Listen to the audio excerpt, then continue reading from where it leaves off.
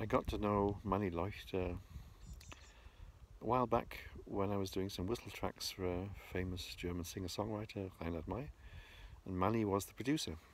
And I did the whistle tracks and went away and came back a few a couple of years later for the next production. And so it went on until Manny discovered I could play guitar.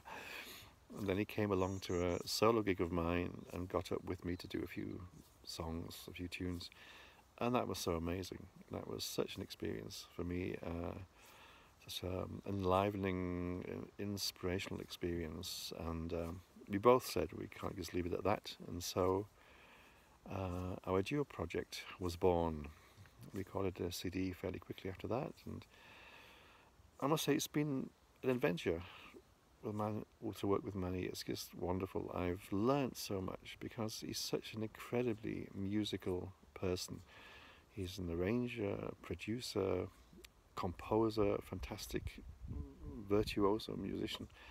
All of these things combined, coupled with that, he, he's travelled so much. He's been all around the world and he's soaked up influences from, from everywhere.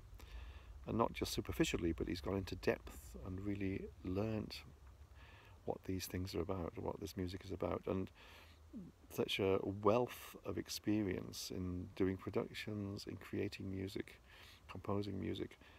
It is just phenomenal, and um, I've benefited so much from that. I've learnt so much from Manny, uh, from the point of view of playing, improvisation, composition, production, a whole, uh, yeah, a whole gamut of things, and it, it's been wonderful.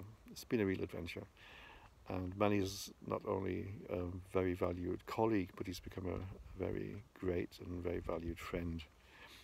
So I'm very much looking forward to the next 20 years of, uh, however long we've got left, of making music and good times with my great friend Manfred Leuchter.